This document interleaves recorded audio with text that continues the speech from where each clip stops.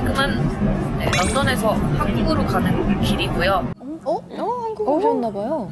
비행기 탄 다음 날에 막 여드름 올라오고 막 그러거든요. 비행기에서 비행기 관리하는 방법을 공유하려고 이 영국 특파원이 네, 특별히 영상을 찍고 있습니다. 되게 애기 같은 피부를 갖고 있어서 궁금하긴 했어요.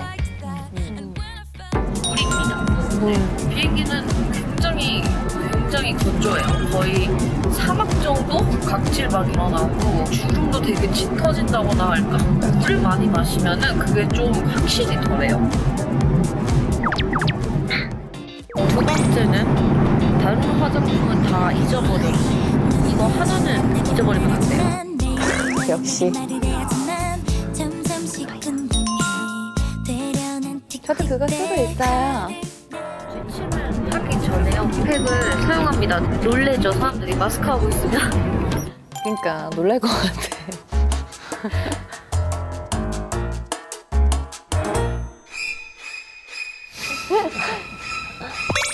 아, 뭐 진짜.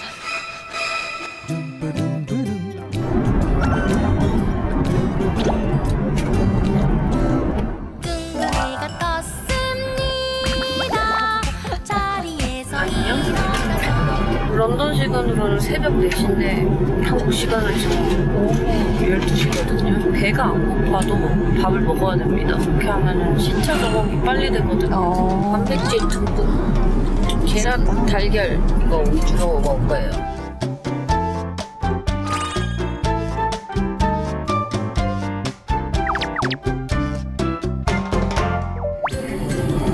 여행 가면서 들고 다니는 pouch를 보여드리겠습니다. 각도 죄송합니다. shadow 바르기 전에 tint를 발라요.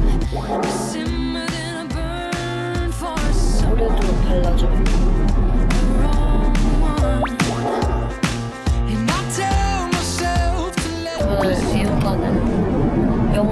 브랜드인데요. 아직 한국에 안 들어온 것 같아요. 우와. 우와, 색깔 진짜 다양하다.